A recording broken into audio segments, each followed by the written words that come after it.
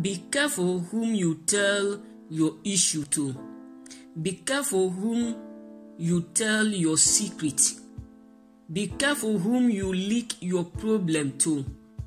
99% of the people you tell your story are your worst enemy.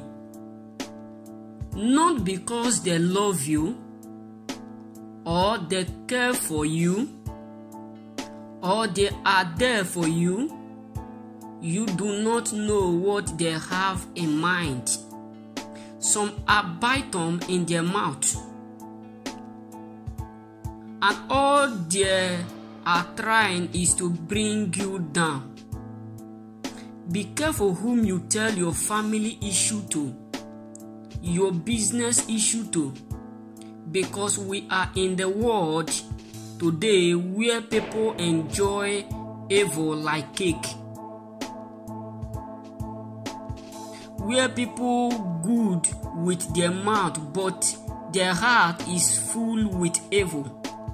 Be careful, brothers and sisters. The ways you share your family issue to people around you because what does not matter today will matter tomorrow. Some people are always happy when they see their fellow friends unhappy. Some people are always happy when they see you falling. But I have one thing for you that the wicked do not know about.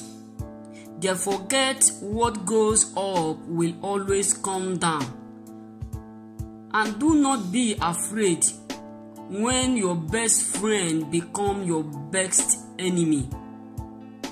Remember this, for the grass that grows today will die tomorrow. And that tomorrow another grass will grow out. Always have this mindset that you are greater than what they think about you.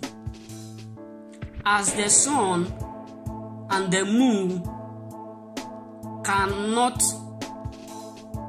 separate the rain from not falling.